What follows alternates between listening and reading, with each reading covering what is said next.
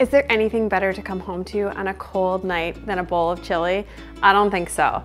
Today in my kitchen, we are making my amazing slow cooker chili. This recipe is full of a ridiculous amount of flavor and I know your family's gonna love it. It is going to become your new favorite chili recipe.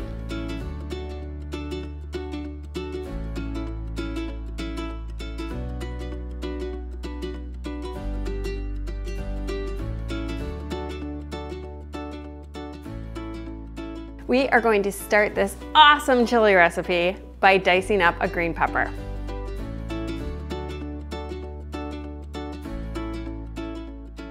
Next, chop up a small yellow onion.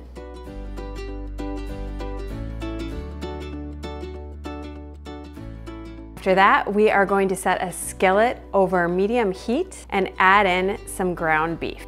While we're using ground beef in this recipe today, you could definitely substitute that with some ground turkey. You would just need to add a little bit of olive oil to your skillet before you brown it. You wanna break up your ground beef. You can see that I'm using a fun fancy masher that I will give you the link to below, but you could definitely just use a spatula. Once you've got your ground beef just a little bit broken up, you're gonna wanna season it with one and a half teaspoons of salt and a quarter teaspoon of black pepper.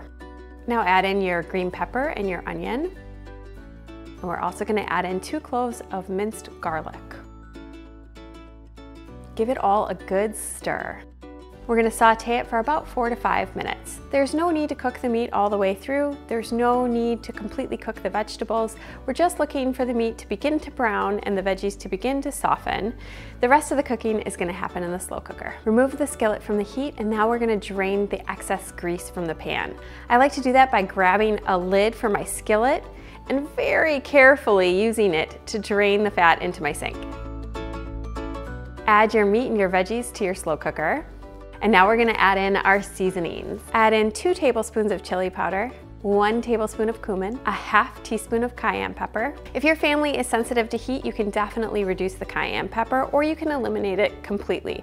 I would say that this recipe has a mild to medium spice level. It's not too spicy. My kids are very sensitive to heat and they love this recipe. Finally, you're gonna add in a half teaspoon of ground chipotle pepper. Ground chipotle pepper might not be an ingredient that you keep in your spice rack, but I highly recommend that you invest in a bottle of it.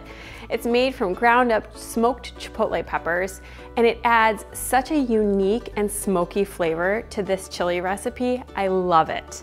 I always keep a bottle in my pantry and I use it in my chicken tacos, which we have probably once a week. Now we're gonna add in one tablespoon of Worcestershire sauce. Worcestershire sauce and one tablespoon of liquid smoke. Aren't familiar with what liquid smoke is? It is exactly what its name implies. It's actually made from the condensed liquid that you get off of the smoke that comes from burning wood. It sounds weird, but it is truly delicious and it adds such a unique, delicious flavor to this chili. I highly recommend that you give it a try. I think you're gonna love it in this recipe and so many others. Now add in a 14 ounce can of drained and rinsed kidney beans. Is that my recipes and a lot of other recipes that you follow call for your beans to be both drained and rinsed. That's for good reason. The liquid that it's packed in is full of sodium and it adds a lot of salt to your recipes. So draining it and rinsing it helps eliminate that and then we can work with the salt measurements that are actually called for in the recipe instead of adding so much additional salt that we can't really control. Now add in a 28 ounce can of diced tomatoes and a 15 ounce can of tomato sauce. Stir everything up and cover up your crock pot. We are going to set our crock pot on low for eight hours. You could cook this on high for four hours. I personally prefer recipes that are cooked nice and low and slow, but do what works best for your family. At the end of the cook time, open up your crock pot and serve up some nice, comforting, warm bowls of chili.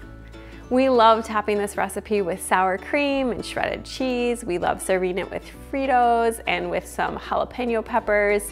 Of course, do whatever your family loves best. This recipe takes about 25 minutes to prepare in the morning and then it is the perfect thing to come home to on a busy weeknight. I know that your family is going to love it so much. The comfort of it, the delicious flavor, and the ease of coming home to something completely cooked and ready to eat.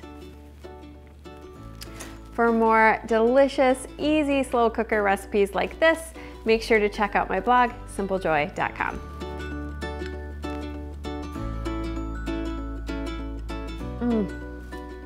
perfect.